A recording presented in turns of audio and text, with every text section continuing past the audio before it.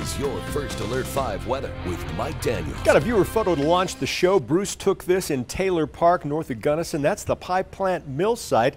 That's where the fall colors are really starting to put on a beautiful show already. Post your pics up on our Facebook page, KOAA 5. That's live right now from our News 5 studios in Rockrimmon. A few fair weather clouds out there. It's nice. 80 is the current temperature. Just a light breeze out of the south at 8 miles per hour. Live look from the Steel City looking off toward the wet mountains. A little hazy, kind of hard to make out those mountains right now. It's 83 degrees, relative humidity at 23%. Still a little bit of snow on the north face of America's Mountain off in the distance, but overall it is just a stunning day up in Woodland Park and all of Teller County for that matter. Here's your big weather story. Here's what's going to happen happen around here over the next several days. Going to have that downslope flow around here, and anytime you push that air downhill, it's going to heat up. It's going to dry it out as well, so don't even get your hopes up for a hint of moisture for the next several days, probably the next seven days for that matter. And it is really going to be hot around here. Afternoon highs, record highs or near record highs tomorrow, Friday,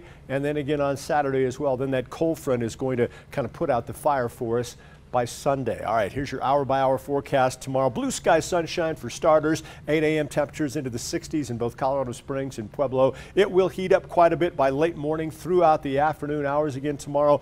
Near record high temperatures across the viewing area. We'll show you those big numbers in just a second. Outside right now, it's pretty toasty out across the valley, upper 80s from La Junta all the way out to Lamar. Nice and cool across some of those high mountain valleys right now in Rye. Current temperature of only 64 degrees. We'll have mostly clear skies tonight and anytime you get those clear skies this time of year, you're going to cool nicely overnight with low temperatures.